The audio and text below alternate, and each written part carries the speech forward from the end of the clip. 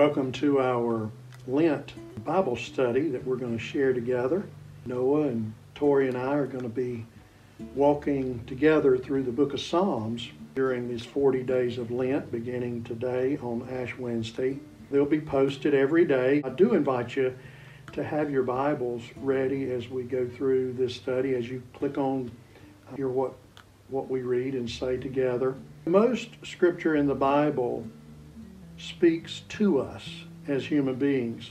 The book of Psalms speaks for us. It is really written from the human perspective, an outcry to God. These are our emotions, our words, our thoughts projected to heaven, to God, as all the emotions would carry. You know, anger, contentment, joy, comfort, peacefulness, all of our different emotions.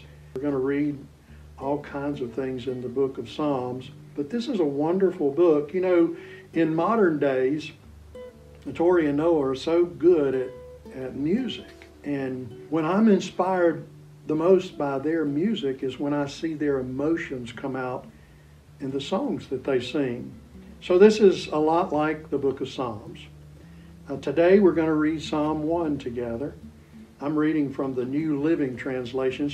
Let's follow along as we read this together. Oh, the joys of those who do not follow the advice of the wicked, or stand around with sinners, or join in with mockers, but they delight in the law of the Lord, meditating on it day and night. They are like trees planted along the riverbank, bearing fruit each season. Their leaves never wither, and they prosper in all they do. But not the wicked. They are like worthless chaff scattered by the wind. They will be condemned at the time of judgment. Sinners will have no place among the godly. For the Lord watches over the path of the godly but the path of the wicked leads to destruction. You can hear all kinds of emotions in Psalm 1. The psalmist wrote that song for us to celebrate God's Word, the law of the Lord. It's perfect. And for those of us who find ourselves rooted in it, we will be on the right path. Would you pray with me?